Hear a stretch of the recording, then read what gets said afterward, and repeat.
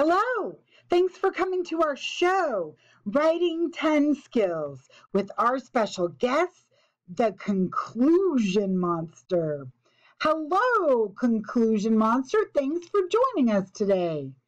You're welcome. I am so happy to be here. I love talking about conclusions. Well, you're the conclusion, monster. So, what can you tell these young writers about their conclusions and how to make them important and memorable and useful? Well, I can't wait to tell you this. This will blow your mind. First of all, when we about conclusions in writing things, often think about the ending, the closing paragraph. It's like I'd say, blah, blah, blah, blah, the end. That's like I'll let our readers think it anymore. It's like watching a TV show.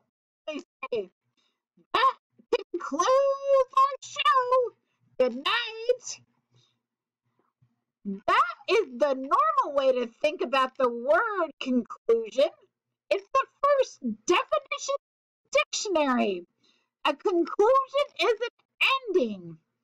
However, when you write conclusions, you want to think about the second word in the definition in the dictionary, which is to make a judgment or decision based on research and thoughtfulness and measured ideas.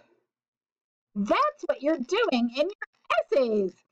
You have thought about a lot of ideas about your topic, you've researched them, you've analyzed them, you've researched them, you've tied together different articles and writers who are experts in the field.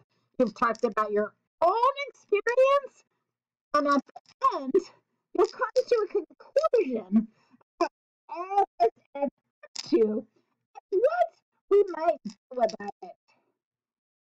This way, the reader will leave thinking, wow, I learned something new today. I can't wait to take this idea into the world and act on it.